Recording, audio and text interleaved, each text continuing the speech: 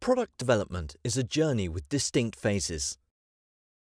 And the formulation technology you start with affects the whole development journey.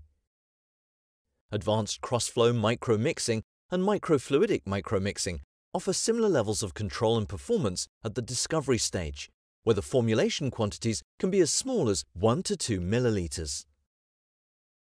As development continues to the preclinical phase, the output of an advanced cross-flow micromixing device with 100,000 pores can easily be increased from 1 to 2 milliliters up to 10 to 20 milliliters and beyond to hundreds of milliliters as required.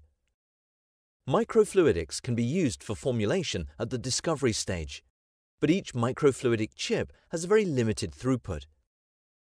You can use a number of microfluidic chips in parallel but, unlike computer chips, there are practical limits to fluid channel miniaturization, and they require complex setups. So it's just not possible to scale up formulating using microfluidics. And as your development journey continues, you will always reach a no-through road for microfluidic technology. Producing COVID-19 vaccines for the whole world in a hurry demonstrated the microfluidic development scale-up roadblock microfluidic developed discovery formulations had to be scaled up using alternative, higher throughput formulating technology with different operating parameters. Micropore Advanced Crossflow technology, on the other hand, allows for seamless scale-up. With consistent physics, mechanisms, conditions and geometry across its equipment range. Ultimately, Micropore's advanced crossflow process can be scaled to a device with over 10 million pores, with the potential for a throughput of up to 25 litres per minute, from a device that would still fit inside a small briefcase.